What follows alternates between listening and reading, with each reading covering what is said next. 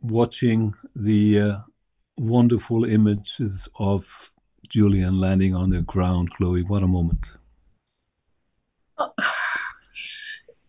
it uh, unbelievable moment, and actually um, listening, watching you receive that news and your response to it, and how much this means to uh, the people that have been with Julian since the very beginning, and those of us like me that have joined the campaign to, to fight for Julian, what that moment was to me is um, the world will never be the same again. Something shifted, and to see that hug with Stella, to see his fists in the air, um, it's just one of the greatest things I've ever seen.